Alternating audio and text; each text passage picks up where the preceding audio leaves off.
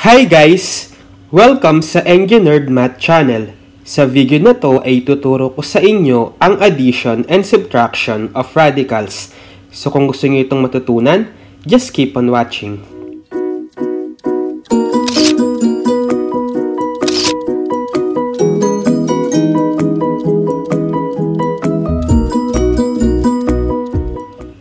So, madali lang naman ang addition and subtraction or basically combination of radicals. So, susundin lang natin yung concept na mako-combine lang natin yung radicals kung meron silang similar terms. So, ibig sabihin, dapat exactly the same yung radical expression nila. So, dapat may the same index saka the same radicand sa loob ng radical symbol. Okay? So, ito yung rule for combining radicals. To add and subtract radicals, transform first those which are not in its simplest form. Then combine radicals which are similar and indicate as addition those radicals which are not similar. So, yun na nga. Kapag similar terms yung radicals, pwede natin silang i-combine. Kapag hindi naman, as is na lang. So, kailangan alam din nating mag-simplified nung radicals kasi gagamitin din natin yun dito kapag mag-add at magsusubtract tayo ng radicals. So, kung hindi pa napapanood yung video ko about simplification of radicals, ay link ko na lang para mapanood nyo. Dahil kailangan alam nyo yon para makasabay kayo sa video natin about addition and subtraction of radicals. Okay, so let's start with the first example. So we have 4 square root of 7 plus square root of 7. So gaya ng sinabi ko, determine natin kung similar terms pa sila. So, titingnan lang tayo doon sa radical expression. So, dito, sa una, meron tayong radical expression na square root of 7. Then, dun sa pangalawa, square root of 7. So, pareho silang index na 2 and pareho yung radicand o yung number sa loob ng radical symbol na 7. So, therefore, similar terms to. Pwede natin i-add. So, itong square root of 7, automatic meron tong parang 1 na constant sa tabi niya parang 1 times square root of 7. Pero dahil 1 naman, hindi natin sinusulat. So, parang ganito lang yon I-add mo lang 4 plus 1, 5. Okay, and then affix mo lang kung ano yung radical expression, which is square root of 7.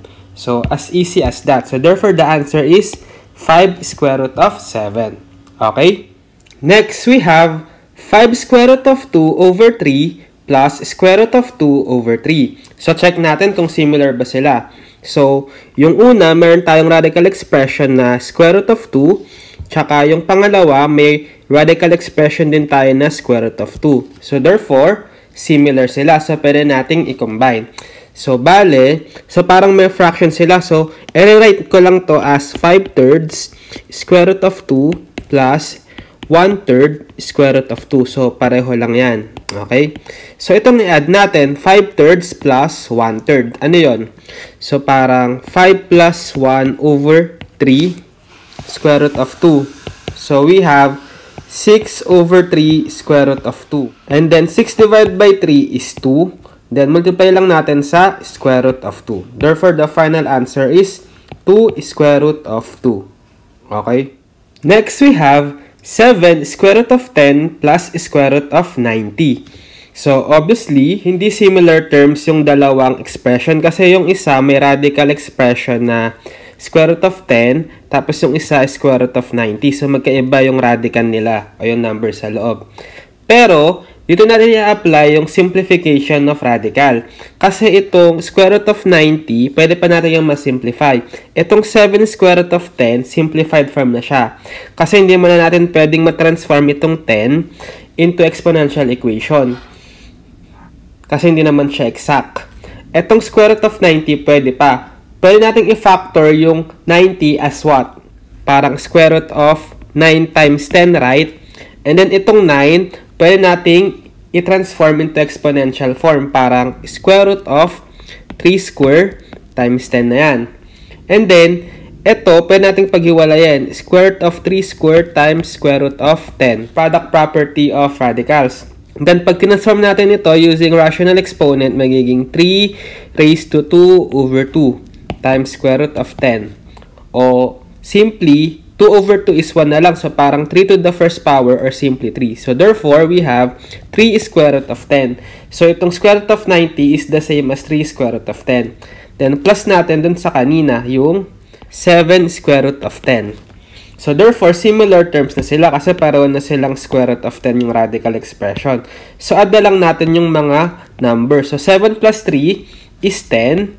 Then, affix lang natin yung square root of 10. So, therefore, the final answer is 10 square root of 10. Okay? Next, we have 4 square root of x minus 3 square root of x plus 9 square root of x. So, this time may variable naman na tayo na x. So, check pa rin natin kung similar terms ba yung mga terms natin. So, check natin yung radical expression. Square root of x, square root of x, square root of x. So, therefore, similar. So, pwede natin silang pag-combine. So, we have 4 minus 3 plus 9. So, 4 minus 3, 1. Plus 9, 10. So, therefore, we have 10. And then, affix lang natin yung radical expression na square root of x. So, therefore, the final answer is 10 square root of x. Okay? Next, we have square root of 9a to the 7 minus square root of a cube.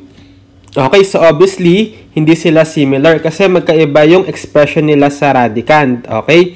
So, pero, pwede pa natin itong simplify. So, dito muna tayo sa square root of 9a to the 7. So, itong 9, pwede nating i-rewrite as 3 squared. Itong a to the 7, pwede nating i-split as a to the 6 times a. Okay? Parang 6 plus 1 is 7. Itong 6 kasi, multiple, highest multiple nung index natin na 2. So, pwede natin yung malabas. And then, minus, ito rin, a cube, pwede yung ma-split as a squared times a. Okay, kasi 2 plus 1 is 3. And then, yung a squared, uh, yung 2 na exponent nung a ay multiple nung index natin na 2. So, therefore, meron tayong, paghiwalayin natin, 3 square a to the 6 times square root of a minus square root of a squared times square root of a. Ito, transform natin using rational exponent. So, we have 3 raised to 2 over 2, a raised to 6 over 2 times square root of a minus, ito rin, a raised to 2 over 2 square root of a. So, simplify natin. 3 raised to 2 over 2 or 3 raised to the first power, 3 na lang.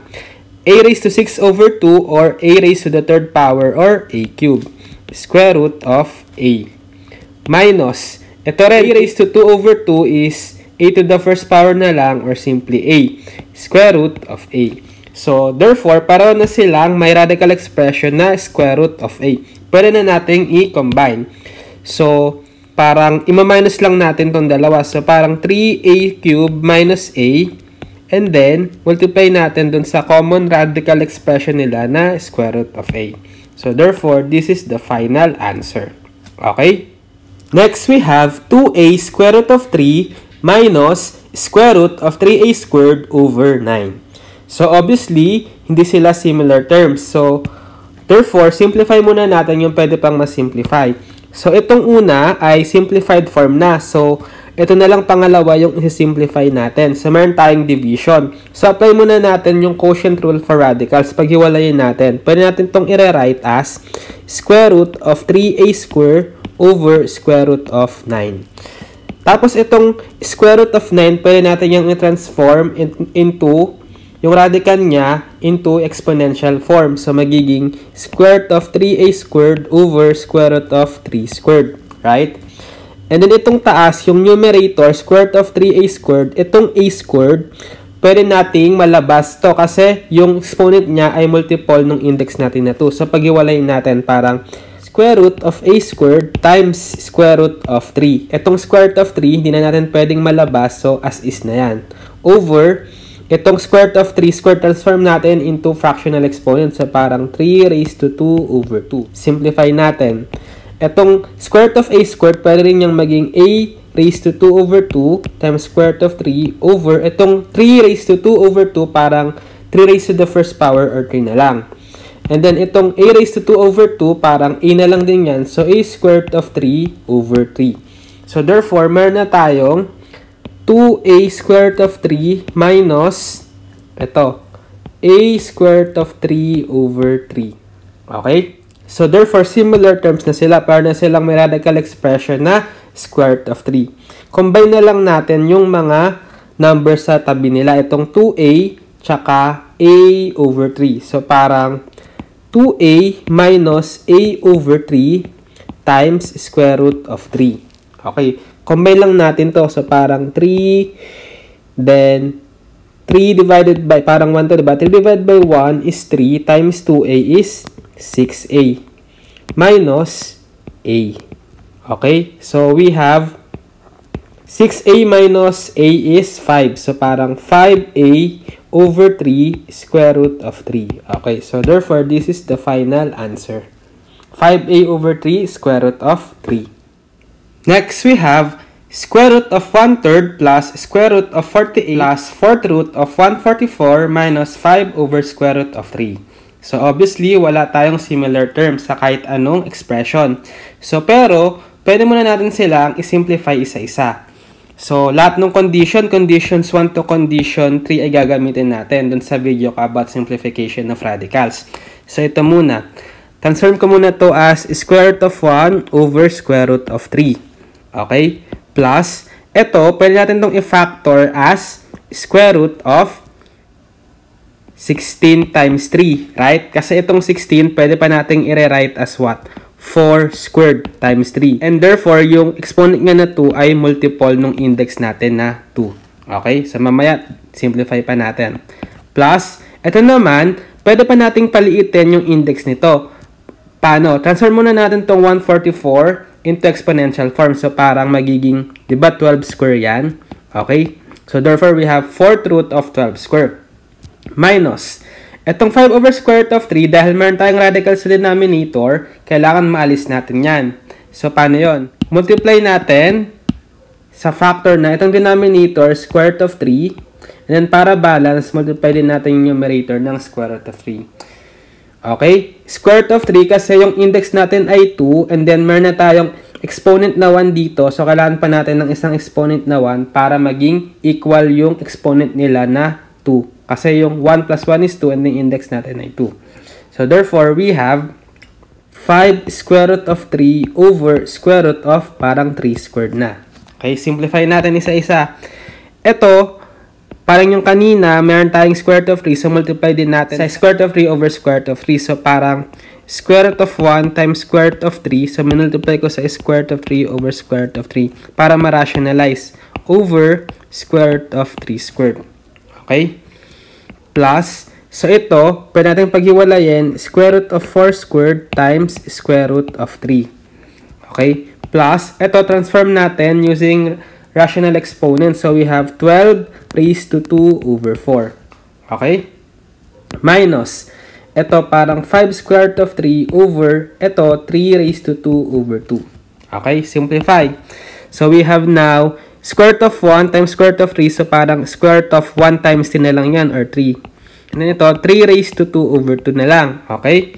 Plus, ito, transform natin parang 4 raised to 2 over 2 square root of 3 plus, ito, transform natin yung 2 over 4 as 1 half. So, parang 12 raised to 1 half na lang. Okay? Minus, so ito, parang 3 raised to the first power na lang. So, we have 5 square root of 3 over 3 na siya. So, wala na tayong radical sa denominator. Then, ito rin, square root of 3 over ito, 3 raised to 2 over 2 or 3 or 3 raised to the first power na lang. So, square root of 3 over 3 na yan. Plus, ito, 4 raised to 2 over 2 or 4 raised to the first power or simply 4 na lang. So, 4 square root of 3. Plus, ito, parang square root of 12 na, right? Minus 5 over 3 square root of 3. Okay, so itong tatlo, similar na sila kasi pair na silang radical expression na square root of 3. So, pwede natin i-combine yan. So, parang 1 third plus 4 minus 5 thirds times square root of 3. Okay? Plus, eto, pwede pa natin itong ma-simplify, right? How? Kasi pwede pa natin itong ma-factor as square root of 4 times 3. And then itong 4, parang 2 squared. So, multiple ng index natin, yung exponent na 2. So, pwede yung ma malabas. Okay? So, therefore, we have, parang ano na to, square root of 2 squared times square root of 3. Okay? Then, simplify natin. Parang 2 raised to 2 over 2 square root of 3. Or simply, 2 over 2 is 1. So, 2 raised to the first power na lang. Or simply 2 square root of 3. So, therefore, a-add natin dito. So, add pa natin tong 2. Kasi, meron din siyang expression na square root of 3. So, parang 1 third plus 4 minus 5 over 3 plus 2. Okay, square root of 3. So, lahat pala sila similar terms kapag sinimplify natin yung radical expressions. So, combine na lang natin fraction. So, meron tayong denominator na 3. So, 3, then ito over 1 over 1. So, 3 divided by 3 is 1 times 1 is 1.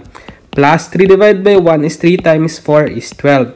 Minus 3 divided by 3 is 1 times 5 is 5 plus 3 divided by 1 is 3 times 2 is 6 square root of 3.